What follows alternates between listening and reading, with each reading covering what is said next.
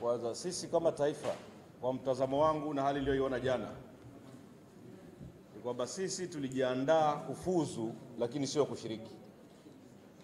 Hiyo ni concept namba moja. Concept namba mbili, timu ya taifa ni timu ya serikali, sio TFF peke yake wala sio wadau.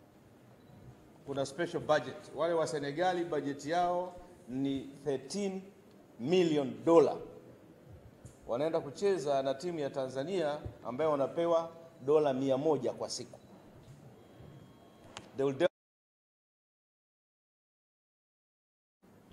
Sisi tulibaki pale mbele, tuna ni Samata kidogo alipoingia ulimwengu, kwa sababu ana mabavu na nini, akatusaidia saidia mbele, lakini midfield hakuna.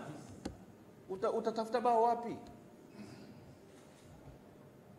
Mtu mwingine anatuambia jana, anasema kwamba kocha alitengeneza watu wawili pale waonekane na wakala mmoja, kwa sababu wakala alikuwa na wahi airport, kwa hiyo awaone angalau kwa nusu saa, you know, ni allegation, aone kwa nusu saa ili apande ndege aende zake Ufaransa.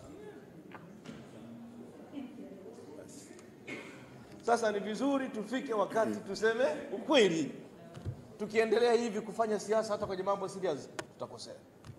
La mwisho, Mheshimiwa Spika, wewe una nafasi kubwa sana. The government should invest kwenye national team. Timu zote za dunia duniani, hakuna mtu anayekwenda anasema angeleje nichangie elfu kumi. Eh, wanaofanya hivyo ni Yanga tu.